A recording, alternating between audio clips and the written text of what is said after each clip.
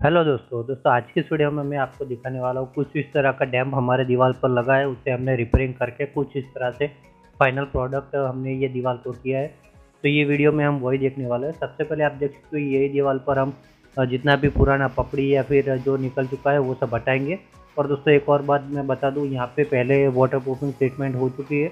मतलब पहले कारीगर ने किया था पर वो अच्छे से काम नहीं किया होगा, इसलिए ये फिर से हमें करने को आया है, क्योंकि मैं आपको आगे बताऊँगा कई जगह से वाटर प्रूफिंग सॉल्यूशन की पपड़ी बन के निकल रही है, क्योंकि उन्होंने ठीक से जो प्रोसेसिंग होती है, वो सब नहीं किया है। आगे की जो भी ट्रीटमेंट वगैरह करना होता है, दीवार को प्रिपेयर करना होता है, वो सब नहीं किया है। इसकी वजह से आप देख सकते हो, इस तरह से बबल बन के पूरी दीवार पर आ रहा है। तो उससे हम अच्छे से पुट्टी ब्लेड की मदद से पहले तो जितना भी निकल रहा है, हमारा जो केमिकल और ये सब आप दानी वगैरह देख रहे हो, ये सबको अच्छे से हटा रहे हैं। और उसके बाद हम इसके ऊपर जो हमारी आगे की ट्रीटमेंट है केमिकल की, वो सब यूज़ करेंगे। तो पहले हम सबसे पहले इसे अच्छे से सब जगह से हटा लेते हैं।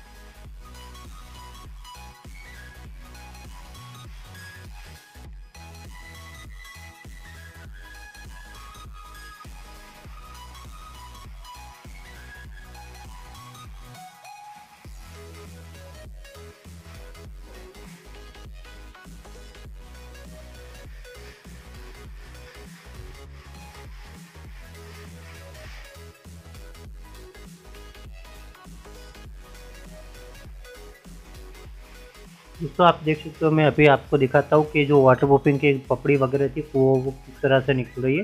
तो उसके लिए आप यहाँ पे देख सकते हो, उन्होंने डायरेक्ट पुट्टी के ऊपर एक वाटर प्रूफिंग सॉल्यूशन लगाया तो ये कुछ इस तरह से इजीली निकल जाती है। तो दोस्तों, ये रॉन्ग तरीका था और उन्होंने इसी रॉन्ग तरीक़ों को यूज़ करके जल्दी से ख़त्म करने के बारे में सोचा होगा। इसकी वजह से इस तरह का, उनका केमिकल भी वेस्ट हो चुका और अच्छे से प्रिपरेशन भी नहीं कर पाए अगर आप अच्छे से इसे सेंडिंग वर्क और वो सब करके करोगे तो एक बेहतरीन फिनिशिंग मिलता है। जैसे कि आप यहाँ पे देख सकते हो, हर जगह पे ये पपड़ी निकल रही है।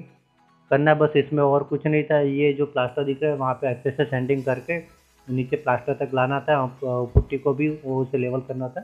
अभी मैं दोस्तों वही करता हूँ। आप देख सकते हो, मैंने ग्राइंडर मशीन लिया और उसके अंदर सेंडिंग डिस्क होती है, उसमें एटी नंबर या फिर सिक्सटी नंबर कुछ भी पेपर लगा के जो रफ वाला होता है, उसे पूरी अच्छे तरीके से प्लास्टर दिखे, वहाँ तक सैंडिंग कर लेना है पूरी हर जगह पर। और यही हम पूरा वर्क इसे सैंडिंग करके कंप्लीट करें।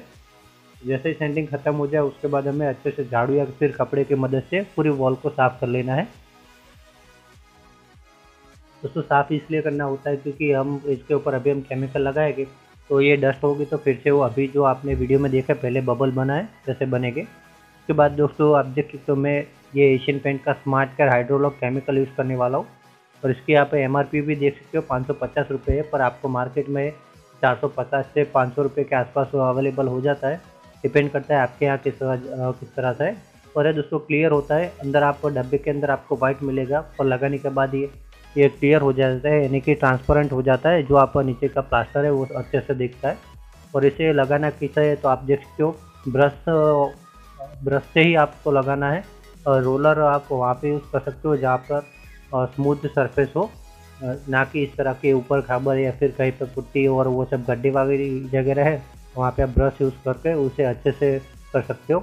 और इसे दोस्तों डब्बे के अंदर है उसे हमें तीस से पैंतीस स्क्वायर फीट पूरा कवर करना है, उससे ज़्यादा आप करोगे तो वो क्या इसकी जो थिकनेस बनेगी ना, सूखने के बाद वो बन नहीं पाती। इसलिए हमें अच्छे से इसे लगाना है और हर जगह पे लगा के छोड़ देना है इसे चार से पाँच घंटे के लिए। तो अभी हम सबसे पहले पूरी जगह पर लगा लेते हैं और फिर आगे की जो प्रोसेस है, वो आपको शेयर करता हूँ।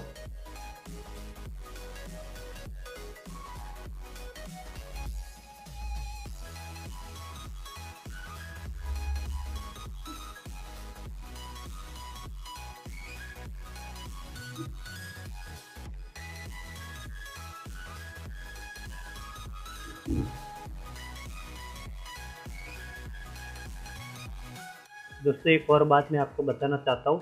आप केमिकल लगाओ तो जो वहाँ पे डैम्प लगा है, उससे एक फुट ऊपर तक और आजू बाजू सभी जगह पर एक फुट तक ये केमिकल लगा लेना, ताकि जो फिर से ऊपर नीचे डैम्प है वो जाने की संभावना ना रहे और अच्छे से फिलअप हो जाए।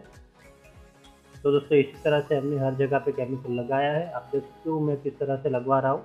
इसी तरह से आप घर पर भी लगा सकते हो, ये इतना दिक्कत वाला काम नहीं है। पर अगर आप प्रोफेशनल से करवाना चाहते हो तो ये बात ध्यान रखना, वो किस तरह से काम करेगा सब।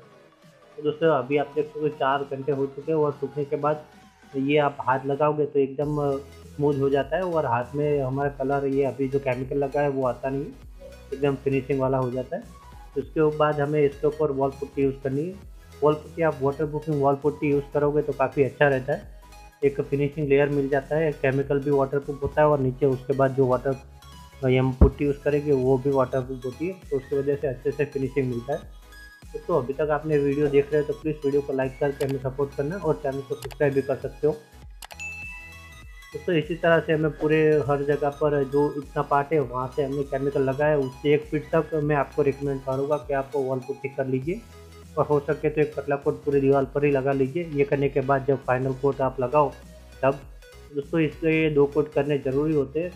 अभी हम पहला कोट कर देते हैं और फिर इसे सूखने देंगे और फिर दूसरा कोट करेंगे।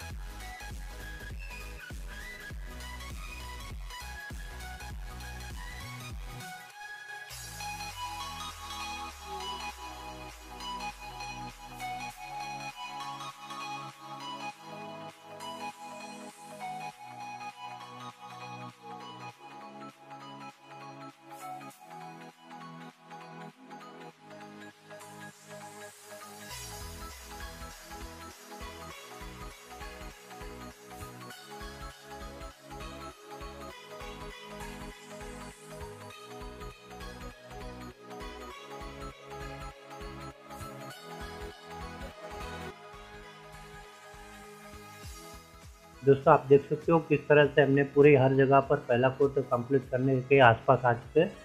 दोस्तों, ये हमने आपको इसलिए पूरी प्रोसेस दिखाई है क्योंकि आप समझ सको दोस्तों, अब इसे हम दो से तीन घंटे अच्छे से सूखने देना है। ये पहला कोट सूख जाए, दो से तीन घंटे, उसके बाद आपको आगे का काम करना है। आप देख सकते हो, दो या तीन घंटे सूख चुका है, उसके बाद हमने फिर से उसके ऊपर दूसरा कोट करना स्टार्ट किया है। अब दोस्तों, दूसरे कोट में या फिर हम जो पहला कोट था, वहाँ पे हमारा मेन मकसद था गड्ढे पड़े उसे अच्छे से फिलअप करना। दूसरे या फिर आप तीसरा कोट लगाने की ज़रूरत पड़ती है तो वो उसका मकसद होना चाहिए कि हमारी जो वॉल है, उसके लेवल में लाना है, उसे अच्छे से फिनिशिंग देना है। इसलिए हम ये दूसरा कोट कर रहे हैं।